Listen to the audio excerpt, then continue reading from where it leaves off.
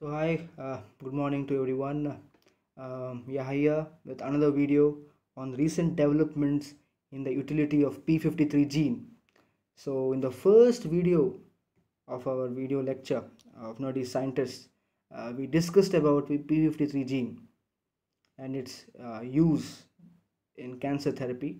And now I'm coming up with few uh, recent studies which discussed about the importance of P53 gene in cancer therapy. So let's start off and see what are those interesting research studies, the latest ones.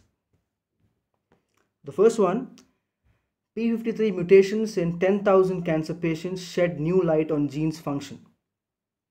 So, one of the most extensively studied genes in cancer is the P53, very well known as TP53, and uh, for its role as tumor suppressor we, we know that we have discussed it in, initially.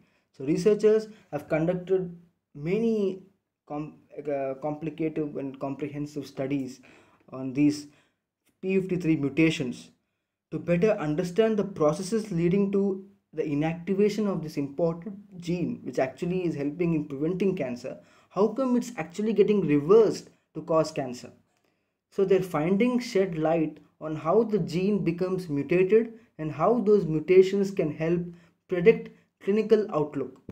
So the team led by Dr. Larry Donehower, the professor of molecular virology and microbiology at Baylor College of Medicine, studied 10,225 patient samples from 32 different cancer types of cancers from the Cancer Genome Atlas and compared them to another 80,000 mutations in a database collected over three decades by Dr. Thierry Soussi, professor of molecular uh, biology at Sorbonne University. Just see the dedication, guys. Just see how complicated this work is. How many years it will take to create one study like this. How many samples they actually are evaluating. That's how things and revelations, new findings come up. It takes time, but when it comes up, it really is worthful. So after analyzing this large data sample, they have more thorough understanding of how the TP53 gene mutation impacts cancer. The team found that across all cancer types studied, these TP53 mutations were more frequent in patients with poorer survival rates, but they also indicate, uh, identified a way to more accurately predict prognosis. So before treatment, the pre-treatment time, we can actually detect when this T53 mutation can happen. So once we can we, we can we achieve or we are successful in detecting beforehand about P53 gene, then it will be very very helpful to prevent uh, the reversal uh, action of this uh, P53 gene, which is very much crucial to prevent cancer. So, however, said you know this Donehower, who is a very very well known scientist, he identified four upregulated genes in mutant tumors whose expression correlated to patient outcome. So there's a lot more uh, on this paper, but you can come up with the abstract of it, you could actually understood uh, to, to make you understand the scientific ideology behind it. So for more information, go to the uh, google and go to google search with the same title we actually kept it here and so that you can actually get to know more about this paper. And this is very very crucial guys. P53 mutations if you could actually stop them initially during the prognosis stage then we can actually prevent its reversal. And it's very very important uh, you know revelation which has actually been done by dr larry Donehower thanks to him and his group to actually find out these kind of uh, analysis and revelations. So very very um, inspiring for all the upcoming scientists the cancer researchers who are working on various studies uh, in um, coming out with some uh, new innovations. The next one. So what is the role uh, p53 can play in kidney cancer previously there are various things which actually happened in kidney cancers but now what are the recent revelations we can actually bring out uh, for p53 using p53 so the well-known cancer gene p53 researchers have thought was very less relevant uh, in kidney cancer initially. Now plays a very important role after all a discovery that could potentially lead to new treatments. So a study conducted by researchers at thomas jefferson university suggests that the second most mutated gene in kidney cancer pbrm1 is strongly linked to inactivation of the p53 pathway so this PBRM1, which is the second most frequently mutated gene, is strongly linked to the inactivation of the P53 pathway. Since PBRM1 is also found in many other cell types and cancers, the finding may have implications for other types of cancers as well. So very, very, very, very crucial subject to be discussed extensively so that we understand more about it. Go through the journal Nature Communications and find it out by ourselves. So this the Professor Yang and his colleagues in the group probed genes that are known to be involved with kidney cancer for interaction with P53. So how this interaction happens between P53 and kidney cancer, this was, this was actually analyzed by Mr. Yang, Dr. Yang and his group. The second most mutated gene in kidney cancer is the tumor suppressor PBRM1 and research has previously suggested that this gene may interact with P53 However, so far, so far researchers have been unable to confirm whether this is an important mechanism in kidney cancer or not. So there are a lot more questions added. Some answers have also been added. So see research is something like this. It continues. Uh, it, it, there is no stop. Some questions get answered during the study and new questions come up. So how important it is. So the importance actually plays a major role when you actually uh, uh, try to produce a new cancer therapy or methodology so it's very very important that you try to answer all your doubts all the questions which come up among the researchers when, when your study is being um, uh, evaluated or analyzed so one of the important revelation please go through the paper the complete paper. Just type the title uh, in the google search. You could actually go through the complete paper and analyze by yourself and do comment in the youtube video below. Your all uh, revelations what you actually have your questions after reading the complete paper. The next one. This is a news article where they discussed about the research into tumor suppressor p53 in ovarian cancer it received around 1.8 million dollars from nih grant so it's a five year grant uh, uh, from a research team at David Geffen School of Medicine at UCLA received and to develop new therapeutic and preventive strategies for ovarian cancer based on the tumor suppressor P53. The team led by Alice, uh, Dr. Alice, will focus on the role of P53 in cancer onset and progression. It will also investigate the preventive effects of REAC P53 and a derivative, a mutative gene. The P53 reactivating molecule, it's a reactivating molecule of P53. It's known as REAC P53. So uh, this is no, this is showing promise in fighting ovarian cancer in preclinical studies. So P53 is a natural tumor suppressor that cells use to prevent uncontrolled growth.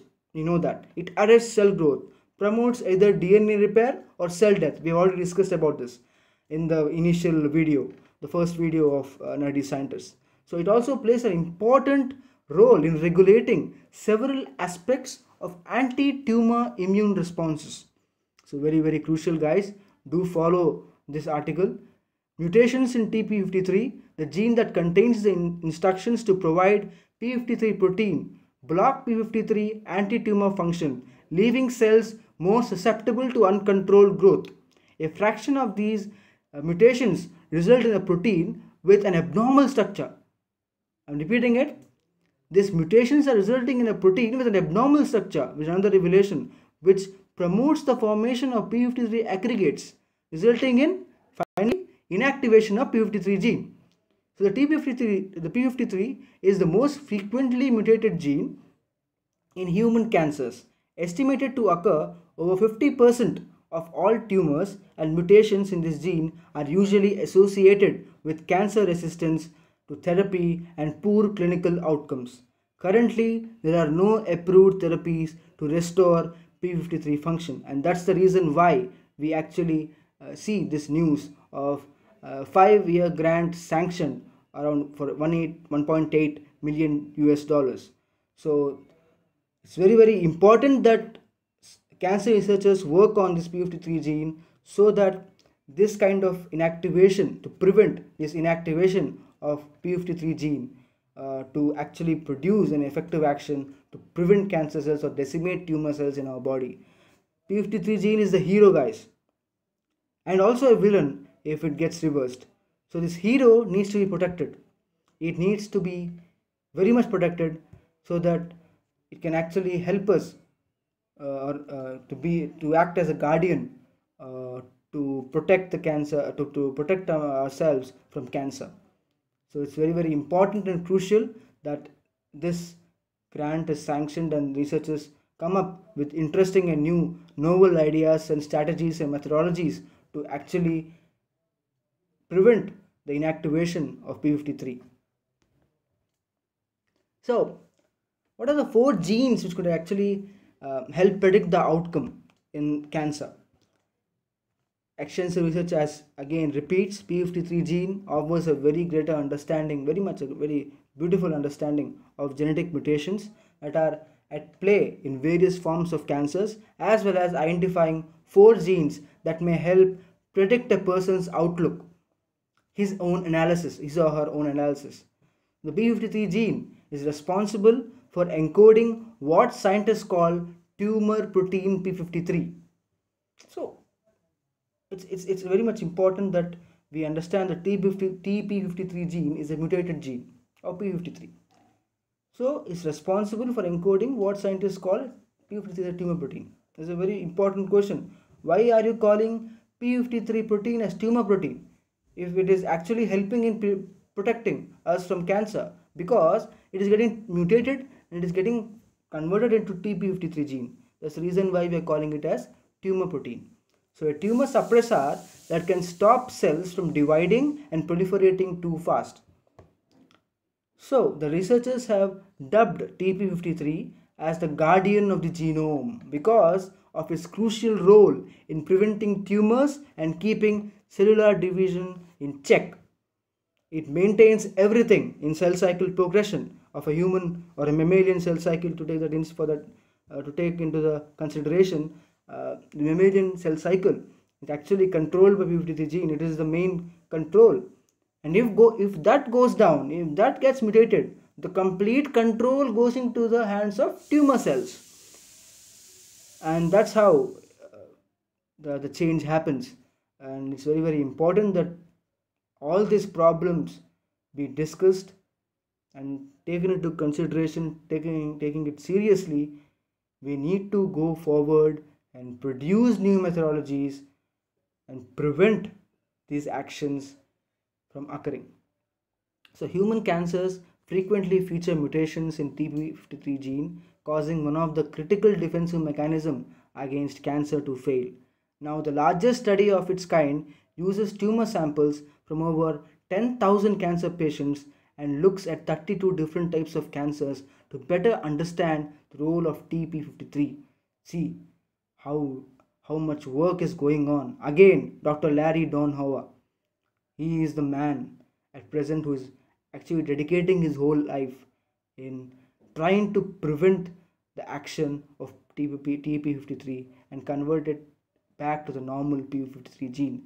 So it's very much important that we actually go through these studies at least as our gratitude for these kind of great professors, you know, great scientists as we have more time now without wasting time go forward read the paper try to analyze and come up with your own conclusions so that it's uh, so that we may get more new ideas through those discussions and arguments what whatever it may be so it's very very crucial for ourselves to pay some gratitude towards these great scientists who are dedicating their lives to actually uh, help us from getting affected with the dangerous disease of the world that is cancer. So, by this we come to an end of this video. I hope you loved the video. I hope you enjoyed. You got to learn something out of it. So be safe be healthy.